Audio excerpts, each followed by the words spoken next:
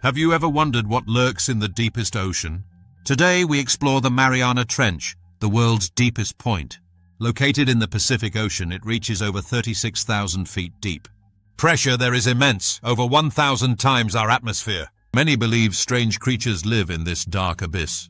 Some say giant squids and bioluminescent fish thrive here. But these reports often blur the line between fact and myth. Let's break down some real findings over the years. In 2019, scientists discovered a new species of snailfish. It survives under crushing pressure with unique adaptations. Researchers use special submersibles to explore mysterious depths. They capture videos of bizarre, otherworldly beings. So, what is fact and what remains mythical? With ongoing exploration, we learn more each day. Remember, the ocean still holds secrets we haven't uncovered. Curiosity fuels our desire to explore further. Interested in ocean mysteries? Subscribe for more amazing discoveries.